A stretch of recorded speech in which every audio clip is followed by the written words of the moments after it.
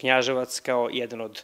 malih gradova u Srbiji, ali sa bogatom istorijom. Knjaževac koji nikada u istoriji nije bio turska kasaba, nego je bio evropski grad, je jedan od redkih gradova ovde koji nema svoj Rotary klub, a Rotary klub je jedno od obeležja svih svetskih velikih gradova i metropola. Meni je ideja da danas ovde okupimo jedan broj zanimljivih ljudi, kvalitetnih ljudi, profesionalaca, da im im prezentujemo tu ideju i da možda u sledećem periodu od nekoliko meseci probamo da u Knjaževcu formiramo Rotary klub. Zašto je to bitno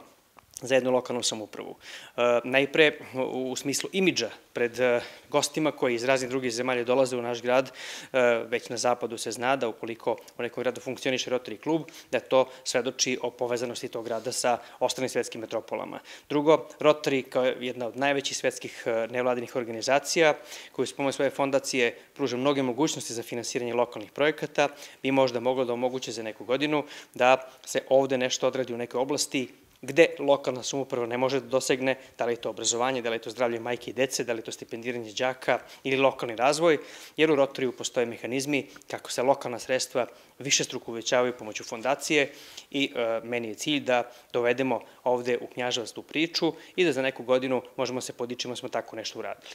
Evo kao primer kako se to sada radi, ja mogu da pomenem da smo ove godine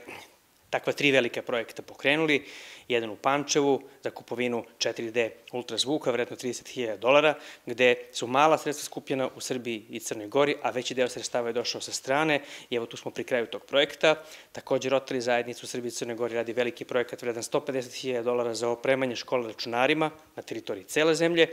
i spremamo se ovih dana da radimo još jedan veliki takav projekat vredan 40.000 dolara za poljoprivrednu školu u Beogradu. Zašto to ne bismo u jednom trenutku i u našim manjim gradovima uradili i evo to je cilj, neće nas koštati mnogo, malo dobre volje treba i skup ljudi koji su zainteresovani da tu priču održe.